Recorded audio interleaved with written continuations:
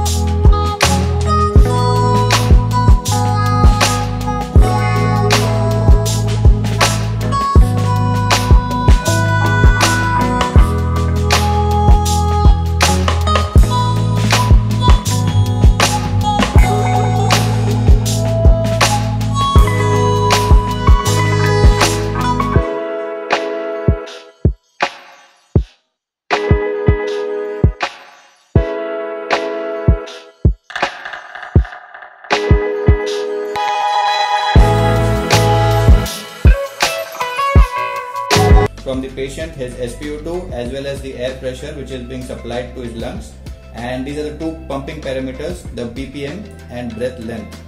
These define the, the core parameters.